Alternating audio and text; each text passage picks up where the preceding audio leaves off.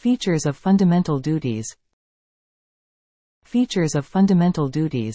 The main features of the fundamental duties are moral and civic duties. The fundamental duties encompass both moral and civic obligations. They include responsibilities such as cherishing the noble ideals of the freedom struggle under Article 51A, b, a moral duty, and respecting the Constitution, national flag, and national anthem under Article 51A, a, a civic duty. Rooted in Indian tradition, the fundamental duties are derived from values deeply embedded in Indian tradition, mythology, religions, and practices. For example, the duty to renounce practices derogatory to the dignity of women has been rooted in the Indian tradition for ages. Applicable to citizens. Unlike certain fundamental rights that extend to all individuals, including foreigners, the fundamental duties are specifically applicable to Indian citizens. Non-justiciable. Similar to the directive principles of state policy, the fundamental duties are non-justiciable. However, the Parliament has the authority to enforce these duties through suitable legislation. Importance of fundamental duties. According to the late Prime Minister Indira Gandhi, the moral value of fundamental duties lies in establishing a democratic balance by making individuals equally conscious of their duties as they are of their rights, without suppressing the importance of rights themselves. The fundamental duties are considered important from the following viewpoints. Reminding citizens of their responsibilities. The inclusion of fundamental duties serves as a reminder to citizens that while enjoying their rights, they also have obligations towards their country, society, and fellow citizens. Warning against anti-national activities. Fundamental duties warn against anti-national or anti-social activities, such as burning the national flag or destroying public property. They help in fostering a sense of respect and reverence towards national symbols and public resources. Inspiring discipline and commitment. Fundamental duties inspire citizens and promote a sense of discipline and commitment.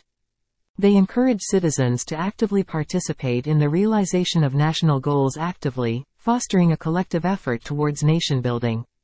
Assisting in determining constitutional validity. Fundamental duties play a role in judicial review. According to a 1992 Supreme Court decision, a court may consider a law to be reasonable, in relation to Article 14, equality before the law, or Article 19, 6 freedoms, and thus prevent it from being unconstitutional if it finds that the law in question seeks to carry out a fundamental duty. Political justification. The inclusion of fundamental duties was justified by H.R. Gokhale, the then law minister, and Indira Gandhi, the then prime minister, as a means to strengthen democracy and establish a balance between rights and duties. Relation between fundamental rights and fundamental duties. The Constitution of India not only guarantees fundamental rights but also outlines fundamental duties. While fundamental rights were introduced earlier and are legally enforceable, fundamental duties were established through the 42nd Amendment in 1976. Complementary nature of fundamental rights and duties. The correlation between Article 21 and Article 51a, k, highlights the complementary relationship between fundamental duties and rights. Article 21 guarantees the right to education, while Article 51a, k, imposes the duty on parents and guardians to provide free and compulsory education for children aged 6 to 14 years. Neglecting fundamental duties. Individuals often concentrate on their rights while ignoring their duties. In the name of the right to free speech, people sometimes incite violence and spread fake news, but this contradicts the duty to maintain social harmony and unity. Political leaders and religious divisions. Many political leaders seek votes by exploiting religious affiliations, thereby disregarding their fundamental duty outlined in Article 51a, c. The duty to protect the sovereignty, unity, and integrity of the country. Reinforcing democracy through fulfilling duties.